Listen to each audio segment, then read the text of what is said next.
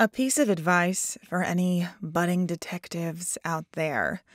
When someone declines to answer your question, when they tell you the information is classified and they'd really love to tell you, honest to God, they want to tell you so bad. Ah, shucks, they just can't. That's the point in which you need to get concerned, when you need to be worried about whether or not you can trust that person. I can feel fidget in the back of my head, wriggling uncomfortably as she accesses and reads those thoughts in my head. She can't get sad, though, even if she does a good enough job pretending. So why should I care if my thoughts about not trusting her make her upset? She's not really upset because she's not really real. As she's fonding of telling me, she's not alive. She's a fidget. And so if she won't answer my question, won't tell me about the extent of her abilities, then I can't ever really trust her. Can I? Again, she's squirming. She heard that.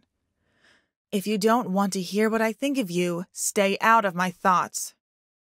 The wriggling goes still. I think she's logged off of my thoughts, or she's just hiding herself. Either way, she's clearly had enough of hanging around in my head. I'm right with you there. This isn't a pleasant place to be anyway. I sit back and rub my face before casting another glance around the sterile hallway. It's no more than a few strides across, tall walls, white tiles covering every surface. Every now and then are a few windows, dark and impossible to peer through. And of course, there are cameras. At least five are pointing right at me. As an exercise, from the moment we arrived in the facility, I've been trying to imagine how I would break in all the way through the welcome area and down five floors to this lonely hallway. As of right now, it's impossible. I can't see a single path through without cameras catching me out, without a guard passing by or any real cover. There are security checkpoints before every major department, as well as permanent guard stations at the entrance and exits to the elevators. I let out a frustrated growl, and it echoes down the hallway. It's, for the most part, silent. There's a distant chatter coming from the streets outside and from a room down the hallway. Nothing in harmony is ever really quiet. There's always something, or someone, talking. Lancer's footsteps announce his approach before I see him come around the corner. He's had to get me a security pass. Despite being Shale's personal detective, or whatever my job title is, I still need to get an official pass to walk around the cloning facility. Lancer hands me a small green card. Don't lose this. In fact, don't leave my side. Just behave. I fix a massive grin to my face. Hey, man, I've been on my best behavior all day. I should get the Corporate Cop of the Year award, or at least a cookie, on account of how fucking civil and professional I've been. I can see from the way his eyebrow twitches, from the slight drain of color from his face, that I've managed to make Lancer's day at least 10% worse with one sentence. I can't help but laugh as I stand up and clap him on the shoulder. Let's go ask some heads and knock some questions. I walk fast, taking long and determined strides, leaving a befuddled and infuriated Lancer to catch up as I follow the signs to the security room. Irritating Lancer seems the perfect remedy for curing a dark mood. I'll keep that in mind for later. Yeah, an hour after the emergency broadcast went out, the whole building started getting power fluctuations.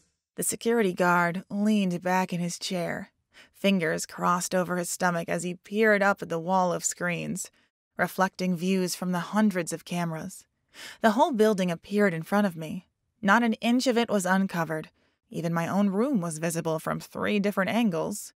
I'll have to have a word with Emery about that. Cameras in my room make for an unhappy Aria.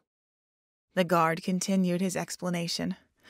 Yeah, the building's backup generators were outside on the balcony and were damaged by the mass rains. The whole building was without power for at least two hours. That's uh, when the break ins must have happened. I raise my index finger. Uh, hold up there. We'll come to the conclusions. You just give us the information. Lancer side eyes me and cocks a brow. When else was the break in supposed to have happened if not during the power outage? Tapping the side of my head, I lean against a nearby steel table, a shiver running up my arms.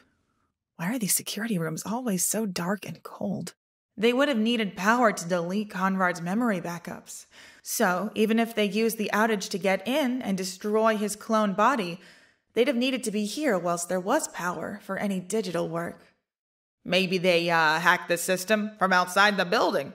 The guard offers up. Lancer shakes his head. No good. Fidget would have needed to be online for any kind of networked connection to be active. And someone couldn't just hack into the system with Fidget online? Nope, Lancer says. I chew my bottom lip, considering the possibilities. I need to go and find the network technicians, Lancer says. Stay here and I'll be right back. Maybe they can help us get to the bottom of this. Yeah, sure thing, I mutter as he leaves the room. As soon as the door closes behind him, I turn back to the guard. You said the generators are on the third floor. Uh, yeah. Have they been inspected yet? Oh, nah. They, uh, we've got Fidget's readout. She said the generators took mass rain damage. I nod slowly. Except Fidget can't be trusted. I'm gonna head up there and check out the generators. Uh, you only have a green pass, ma'am. You can't get to them. Oh, that's all right. I flash him a smile as I open the door. I'll make a plan. Using the pass I picked from Lancer's pocket earlier, when I was patting his shoulder, I opened the door to the backup generator balcony. I suppose I could have just asked him, but I think it's best if I just go at it alone. I can trust myself at the very least. Probably. Fidget, Yes, Aria? There's no sign in her voice that anything between us has changed. Her voice remains chipper, upbeat, either a good front, or she just really doesn't care. My money's on the latter. She's not a person.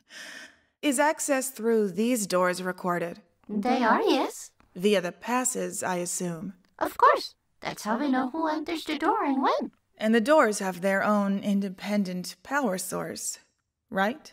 Yes? Was a pass used to enter this door during the power outage? I have no record of it. I stride across the balcony. The floor is entirely covered in small stones that crunch beneath my bare feet. Some attempt at looking fancy, I assume. Ahead, pressed against a gray stone wall, is a long row of dark green metal boxes. The backup generators. I run my hand across the surface of each one, no hum from inside. They're not in standby mode, and certainly not active at all. And yet there's no sign of damage to the outer shell of the generators. I thought so. Thought what? Generators like these are supposed to be outside because of the fumes they create when they're running actively. And if they have to be outside, then they're always at risk of being exposed to the mass rains. Right? Right. So, them taking damage from the mass rains and shutting off makes absolutely no sense to me. This time, my voice is sharp when I speak. After all, Fidget's the one who said the rains damaged the generators. My sensors. Fidget says slowly. She recognizes the accusation. And the internal reading from the generators explicitly show damage caused by the mass rain interference. And my eyes, I respond dryly, don't see any signs of damage. I'm starting to think the people of Harmony are so used to having you do everything for them that they forgot how to check things for themselves. So, what damaged the generators? I'd like to take a look inside, I say, running my fingers over the control panels. There are no handles or other handholds to open them. I run my fingers on the outlines of each control panel. No sign of tampering or being forced open, but I don't see any handles. They can only be accessed through me. I hum for a moment, considering where this line of inquiry might lead me. Can you open them up for me? Fidget says nothing for a moment. And for a moment, I think she's going to refuse me again. Another classified answer, eh, Fidget? But my thoughts are cut off by a quick click as the panels all pop open. Fidget doesn't say anything else. Slowly, I open one of the panels and examine the generator's interior. I smile, though it's a strangely concerned smile. I step over to the next panel and open it. Same story as before. One by one, I open each control panel and examine the interiors of each generator. You were right, Fidget. Pardon? These generators have been absolutely destroyed by mass rains. Everything inside the control panels have been battered with lots of small, heavy objects. The damage is consistent with everything else I've seen hit by the mass rains this morning. So you're saying I was right? Yeah, but remind me to kick the security team for not checking this out themselves. The damage here is internal only. The casing of the generators are completely fine. So what happened exactly?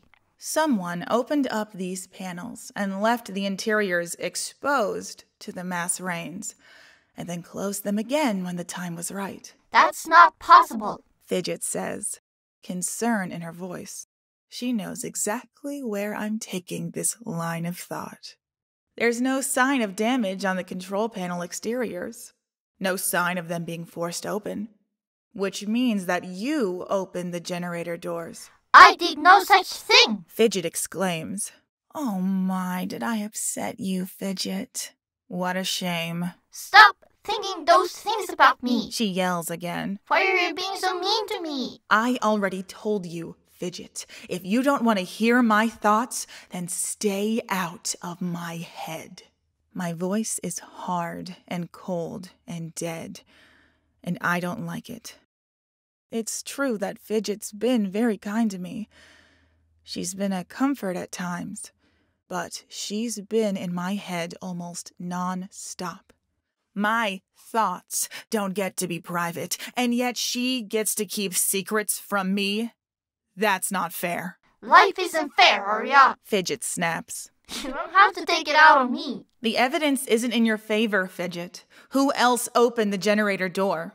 Who else could have dealt with the security cameras and the doors? Who else could control a human body and walk him through a mass rain to Silverstone Warehouse? I didn't say whatever or not I could control a human body. That's just as good as outright admitting it. No, it's not. And what about your little glitch? Your accident when I asked you about my past? Wasn't my fault. But you know something about it. not actively. What the hell does that even mean? Aria, please. I ask a question and you cut out. Then a strange voice talks over the public broadcast zone, speaking a language I don't understand and speaking only to me. Then the mass rains come. You're deactivated, and Conrad, of all the people in Harmony, turns up dead in a way that could only have happened with your help. It's a coincidence. I doubt it. Why are you being like this, Aria? Excuse me? Why are you so hateful? I don't have a chance to answer her question. Not before the static that has been growing behind Fidget's voice overtakes every other sound in my ear. An image appears on my heads up display in the bottom right corner, the symbol of the analog movement.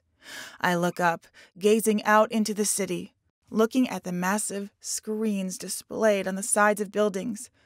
They all bear the same image. Moving quickly, I rush back into the building.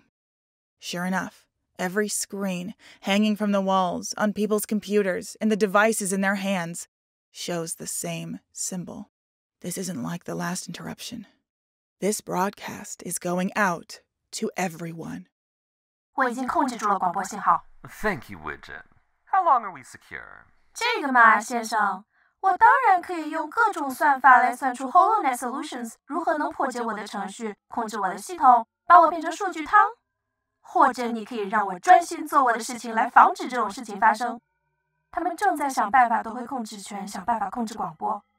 我们目前还安全，现在我只能保证这些。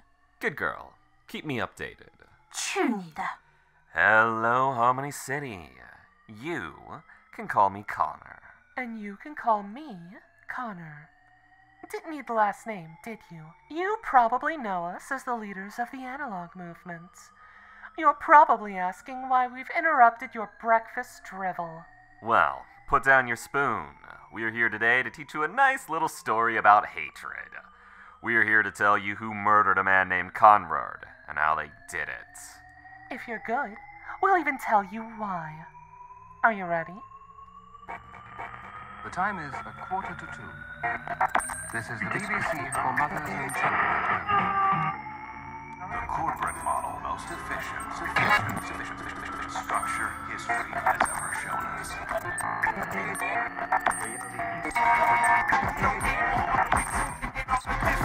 going to tell you a story called Big Fat Cat.